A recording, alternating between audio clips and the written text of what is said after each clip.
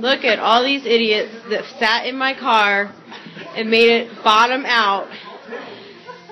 Four, five. There's number six, and one was hiding in the hatchback.